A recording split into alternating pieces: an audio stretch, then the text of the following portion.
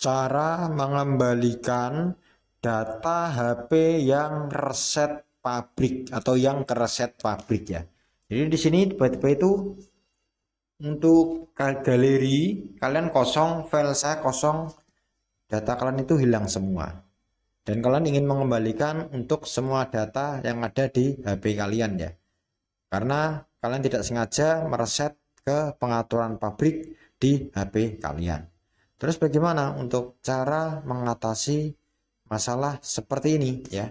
Kalian bisa lakukan cara saya ini ya. Semoga berhasil ya. Untuk langkah yang pertama, kalau kalian ingin mengembalikan semua datanya, kalian yang pertama bisa masuk ke pengaturan yang ada di HP kalian.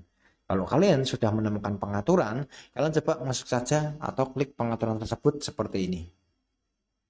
Kalau sudah seperti ini, yang perlu kalian lakukan yaitu kalian coba scroll saja dan kalian nanti di sini akan menemukan akan menemukan tulisan untuk yang namanya akun dan pencadangan ya. Setelah kalian menemukan akun dan pencadangan kalian saya sarankan bisa pilih untuk akun dan pencadangan nah nanti di sini ada tulisannya untuk kelola akun cadangkan data terus ada ambil data dari perangkat lama ya transfer penyimpanan internal. Jadi kalian bisa pilih untuk yang kelola akun saja. Oke. Kita langsung klik atau lanjut masuk saja di kelola akun. Nah, nanti di sini akan ada beberapa email ya. Jadi email itu banyak sekali. Kalian bisa cek satu persatu email kalian ya. Barangkali untuk semua data atau foto video kalian itu masih ada di email yang si A atau si B. Contoh saya akan mengeklik email yang ini.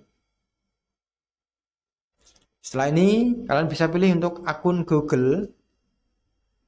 Setelah di sini kalian bisa coba pilih untuk data dan privasi. Klik saja. Setelah data dan privasi kalian bisa coba ya, bisa coba scroll ke bawah. Kalian saya sarankan bisa pilih untuk yang namanya ini ya. Nah, ini konten yang simpan dari layanan Google. Di sini klik saja.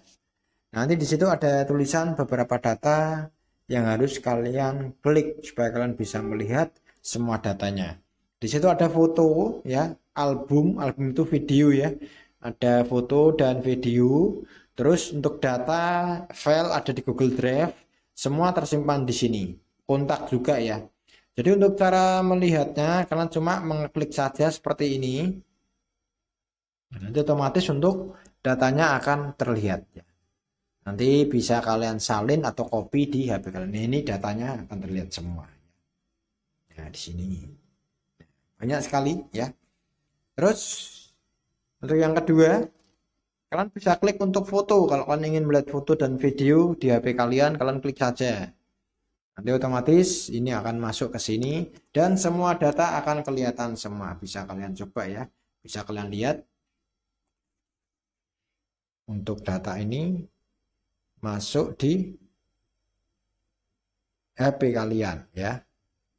Nah, masuk di sini semua. Ya. Ya, semoga membantu ya informasi dari saya ini. Silahkan dicoba. Cukup sekian dan terima kasih.